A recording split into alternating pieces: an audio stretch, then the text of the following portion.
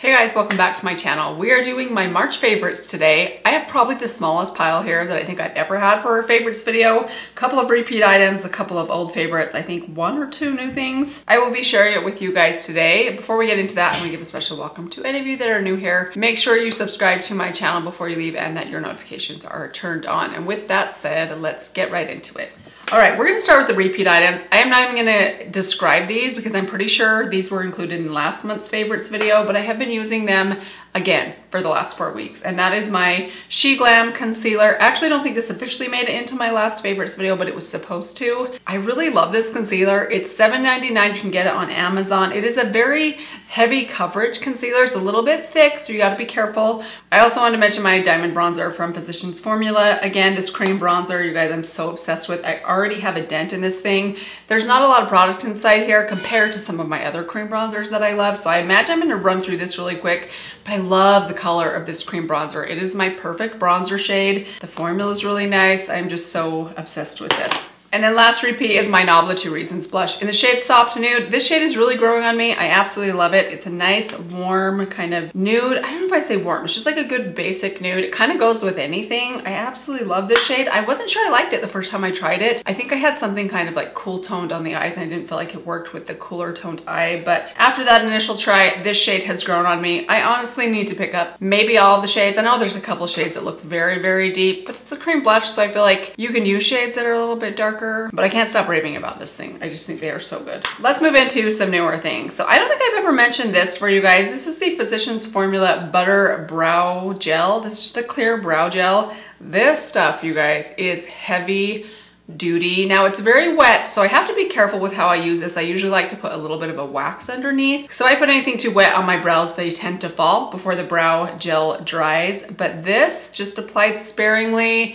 and then brushed up right. If I if I can let it sit there until it dries, my brows could go through a hurricane and they probably would not come undone. This stuff is indestructible. Maybe not quite. I haven't put this to like a waterproof sort of test, but as far as just how long this keeps my brows in place, it keeps them in place all day long. I even fell asleep with this in my brows one night and they were still upright the day after. So pretty impressive. It does make them a little bit on the crunchy side, but they don't look as stiff as they feel. So if that doesn't bother you and you just need something that's going to seriously hold your brows in place, this will get the job done. So I got an older favorite that I've rediscovered recently. This is the MAC Double Gleam Highlighter. You guys, this is one of the best highlighters that I own. It's so good. If you like an intense highlighter, this is just such a fantastic formula and color.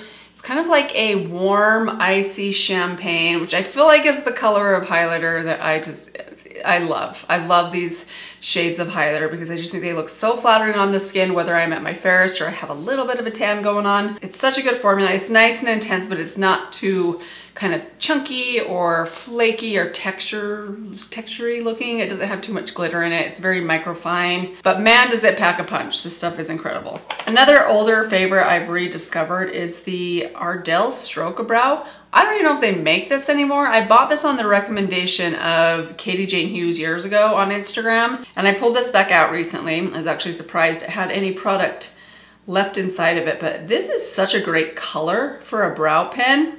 And it really does just give you like very hair-like strokes in your brows. I've had it on my desk for the last couple of weeks and I've been using it a lot and I really like how my brows look using this product. I am wearing it in my brows today, by the way, along with the clear brow gel. And I think my brows look pretty good today. Another Physicians Formula product. I actually didn't realize I had three Physicians Formula products. This is the Diamond Plumper Lip Gloss. This one is in the shade Pink Radiant Cut. This is such a pretty, just kind of throw on your lips in the springtime shade of gloss. I am wearing on my lips today. I had, I had some lip liner on a couple of hours ago, but I think most of that had worn off before I filmed this video.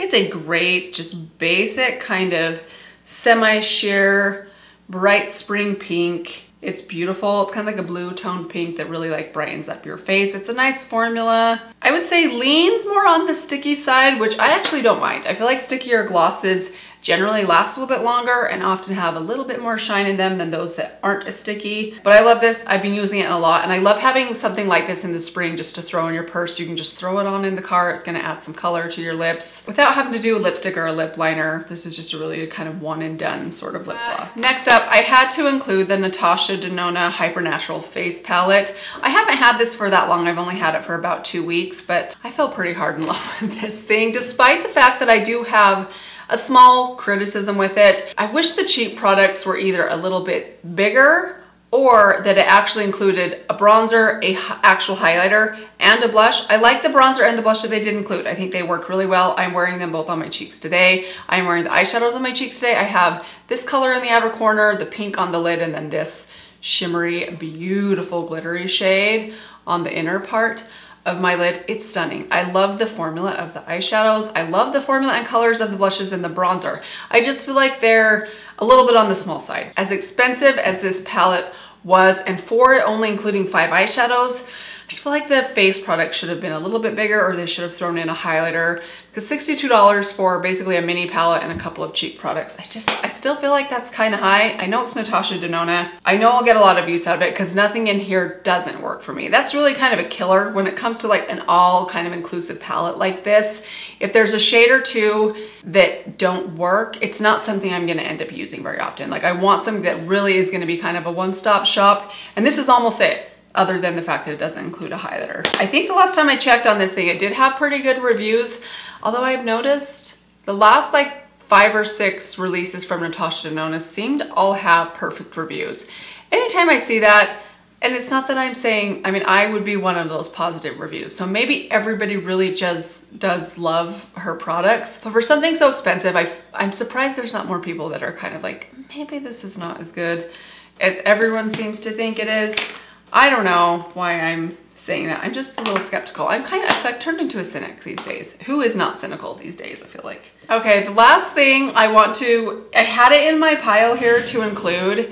I'm gonna put a little asterisk next to it though, because I looked this up on Sephora's website before I, before this video, and it made me question whether I really want to include this because I'm not sure that once this little sample size, let me just tell you what it is. It's the Super Goop Glow Screen sunscreen. This is a tinted sunscreen that has some like highlighting properties in it.